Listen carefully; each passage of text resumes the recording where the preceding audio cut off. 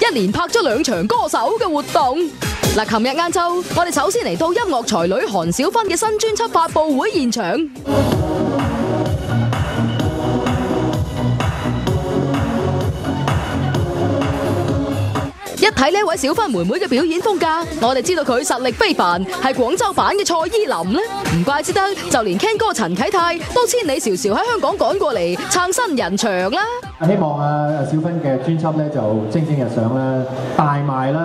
诶，卖多我一只啦。